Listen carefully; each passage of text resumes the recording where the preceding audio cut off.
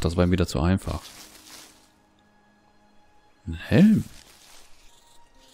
Okay, kleiner grüner Stein. Bonuserfahrung, Bonuserfahrung Monster. Das Ding ist gut. Sollte ich mir eigentlich antun, ne? Ich gucke mir mal gerade den Helm an. Rüstung da. Plus 3. Und der hat... Keine Ahnung. Ich rüste den mal aus.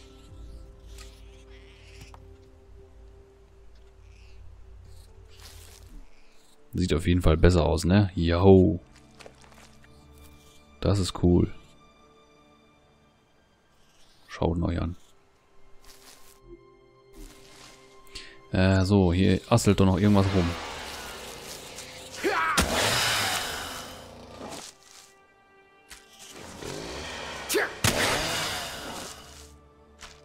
So, Ruhe im Karton. Wie soll ich denn hier meine Arbeit machen bei dem Krach? Gut, ich gehe mal wieder runter. Nehme die Blume mit und gehe wo lang? Eigentlich Luftlinie da hinten hin, ne? Oh, das ist ein Skeks, ja. Luftlinie da hinten hin hört sich gut an. Ich gehe mal hier drüber. Was ist das überhaupt? War das mal eine Brücke oder auch ein Damm? Oder? Upsala. Da ist die erste Lava. Schaut es euch an. Oh, Moment.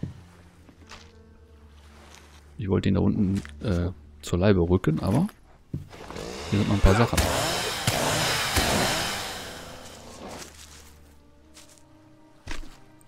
Danke für dein Fleisch. Lieber Kritter. Die erste Lava entdeckt. Cool.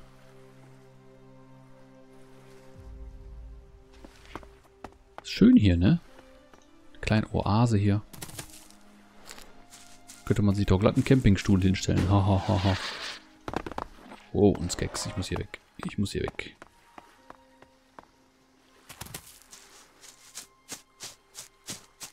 Weg von den Skeks. Oh, was ist das denn? Ist das eine kleine Siedlung? Soll ich da mal ganz unverfroren reinlaufen? Was war das? Okay. Was ist das? Was ist das? Ich sehe es nicht. Ach so, was ist das?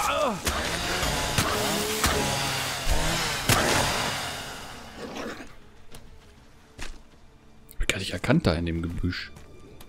So, ich speichere mal. Es könnten auch Banditen hier hausen, ne? Oh ja, das sieht aus wie Banditen. Oder ist das wieder hier was Tolles?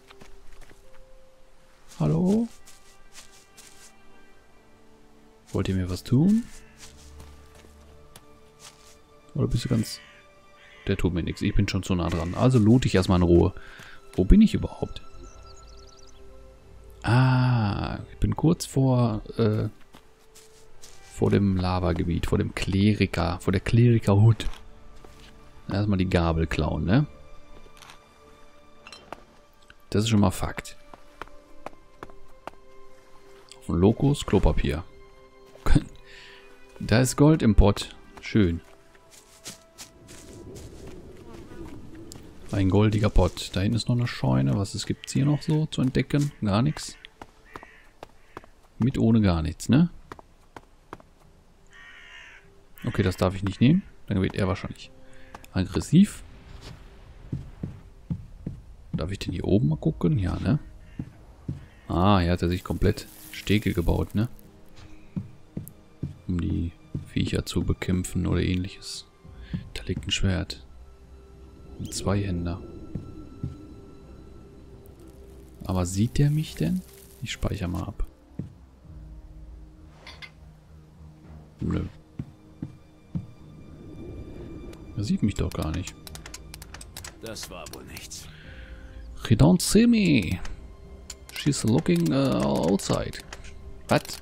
Mach auf jetzt. Zu einfach. Sabbelwasser? Was ist denn Sabbelwasser? Rezept Brotsuppe. Danke. Ja, ich kann nicht widerstehen. Ist so. Ist so. Ich schäme mich dafür auch nicht. Da liegt was. Ach, Schrott ist das. Geldbündel. Irgendwas Interessantes hier im Haus. Bolzen, Krug. Hinten raus. Ah, guck mal, der hat ja sogar Mitarbeiter.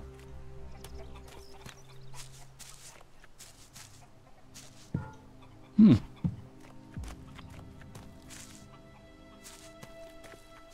Cool. Ich habe keine Zeit. Ja gut. Das ist löblich, wenn du zu tun hast. Ich wollte nur mal gucken, ne? Ist noch so einer? Detlef arbeitet auf dem Feld. Tag und Nacht, Nacht und Tag. Detlef. Da muss ich dich loben. Wie ist das Leben als Bauer? Anstrengend. Okay, Detlef ist ein Mann der vielen Worte, ne? Erzähl mir etwas über dich. Ich bin Detlef. Ah ja. Du bist nicht sehr gesprächig. Sprechen macht Kopfschmerzen. Und wer spricht, arbeitet nicht. Brauchst du Hilfe?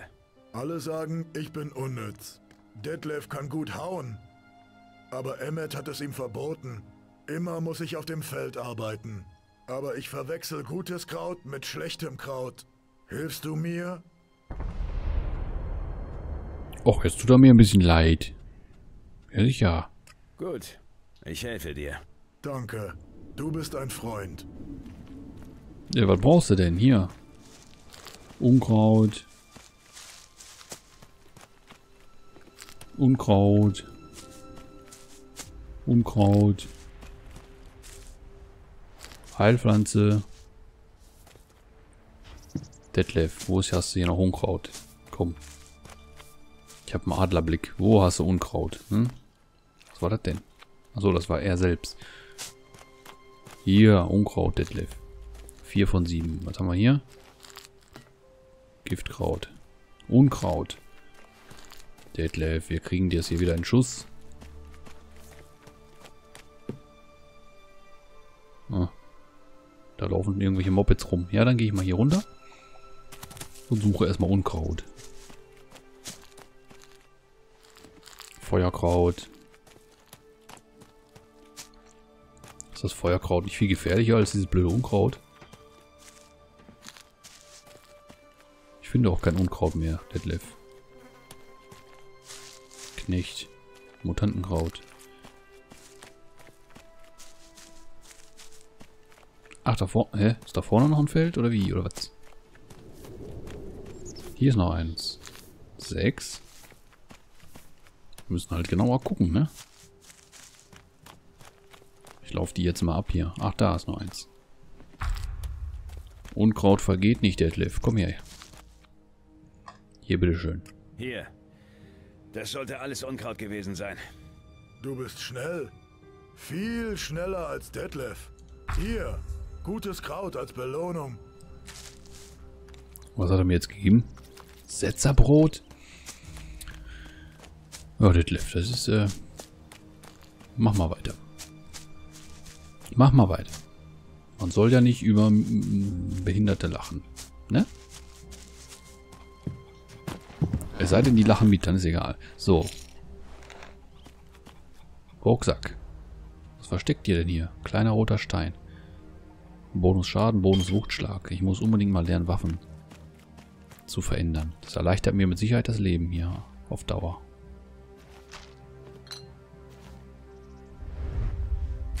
Mann, hier liegt viele rum. Brot. Wohnt hier Detlef oder was?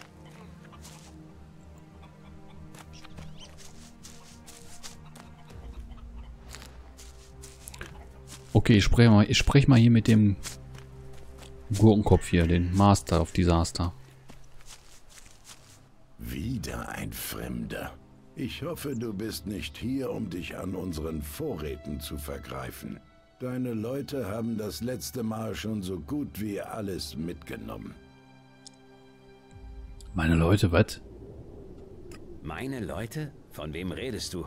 Ich hatte dich für einen Banditen gehalten, aber ich habe mich wohl geirrt. Zumindest würde es deine Nachfrage erklären.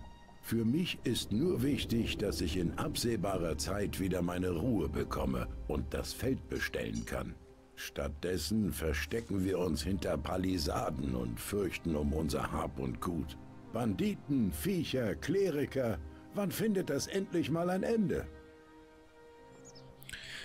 Okay, der hat Probleme, der Typ, der braucht bestimmt Hilfe. Ähm. Erzähl mir mehr über diesen Ort. Mein Vater hat das Land hier urbar gemacht. Die Lage ist ideal. Das Wasser ist brauchbar, die Gegend abgeschieden und versorgen können wir uns selbst. Durch die andauernden Kämpfe zwischen den Fraktionen müssen wir allerdings immer wieder Menschen verschiedener Herkunft Obdach gewähren. Und anstelle von Dankbarkeit hat sich unser Wohlstand herumgesprochen und so kommen nicht nur die Friedfertigen.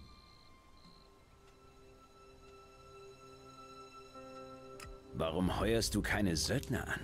Jungchen, das Erste, was das Söldnerpack tun würde, ist uns in Ketten legen und auf unseren eigenen Grund und Boden zur Arbeit treiben.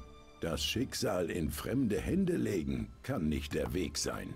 Deine Ratschläge in allen Ehren, aber ich bezweifle, dass sie auf uns Bauern zugeschnitten sind.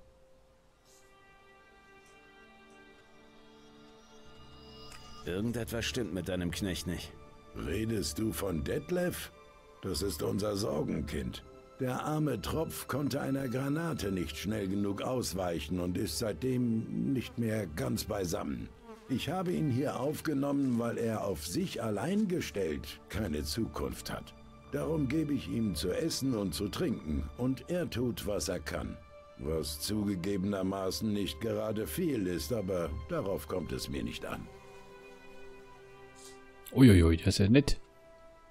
Die Befestigungsanlagen scheinen nicht viel zu bringen. Anfangs sollte uns die Palisade lediglich die Biester vom Hals schaffen. Dann kamen die Banditen hinzu, also musste ich sie weiter verstärken lassen.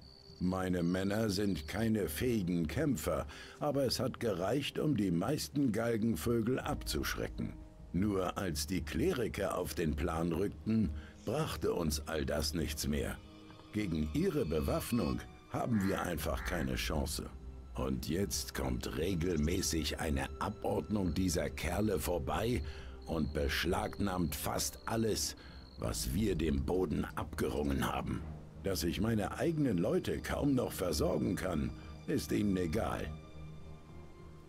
Wenn du willst, helfe ich dir, deinen Hof zu verteidigen.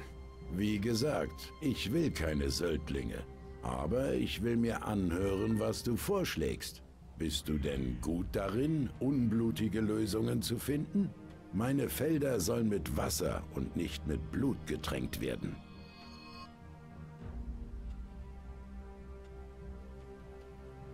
Oh Mann. Kämpfen oder verhandeln? Verhandeln kann ich gar nicht. Lass mich die Verhandlungen führen. Ich bin mir nicht sicher, ob du der Richtige dafür bist. Du scheinst dich eher auf das Kämpfen als auf das Reden zu verstehen.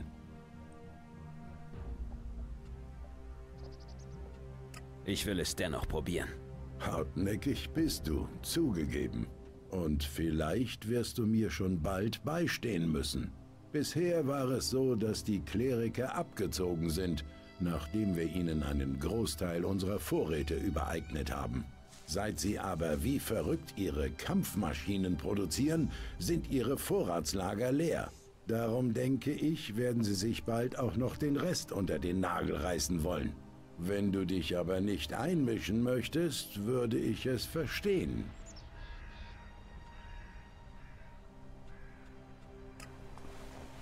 Moment mal, das klicke ich noch nicht an.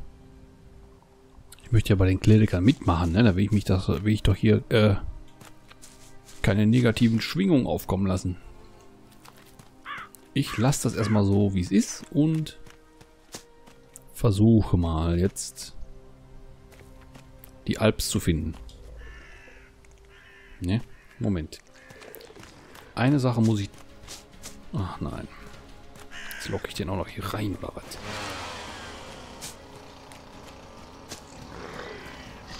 Dann los, komm jetzt. Ich hab keine Zeit.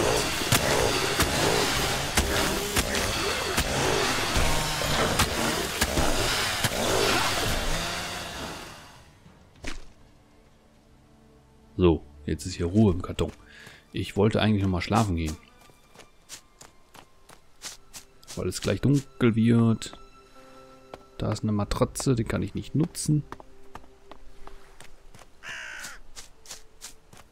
Wo ist denn hier? Ach, da drin war aber auch ein Bett, ne? Auch ein schönes Bett, nehme ich.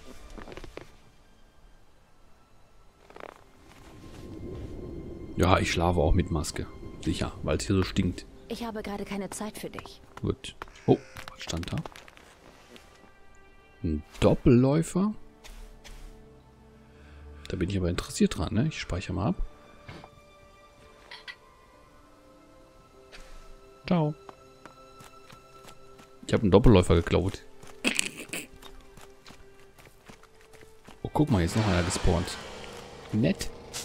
Sehr nett. Komm mal ran da, du. Blutkralle. Du bist auch nicht hübscher als die anderen. So.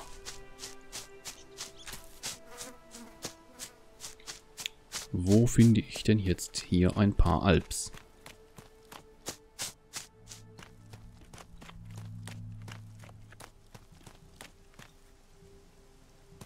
Ups, da ist eine kleine Familie.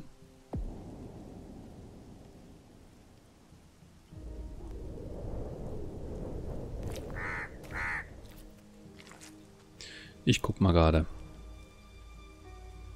Also hier geradeaus und dann links hoch.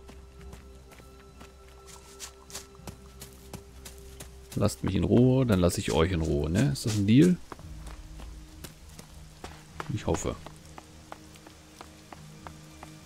Da oben sind noch irgendwelche Kreaturen.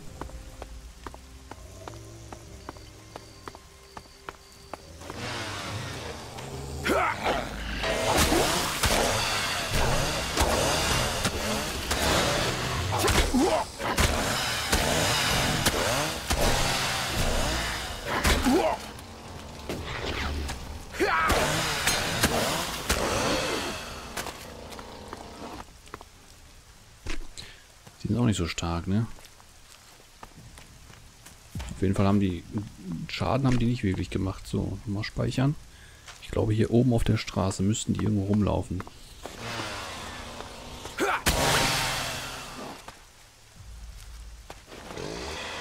Hier ist ja alles voll.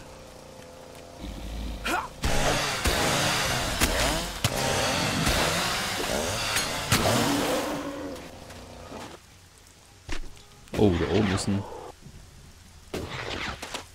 Skex. Ich glaube, das war ein Skex, ne? Ich habe zwar schon einen besiegt irgendwann, aber das ist mir eigentlich viel zu kostenintensiv. Weil ich mich danach erheilen muss und die ziehen ganz schön runter, ne?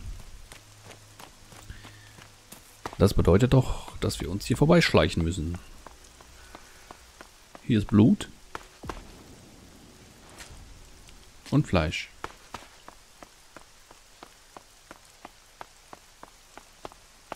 Da ist der Skeks. Mitten auf dem Weg.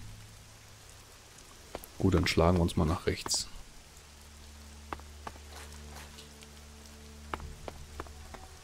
So. Ja, mit denen kann ich um, ne?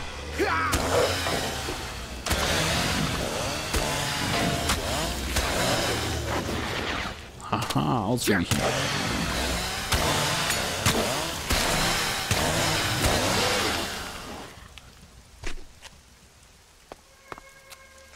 Habe ich jetzt ausgenommen? Habe ich, äh, weiß ich nicht. Ging zu schnell.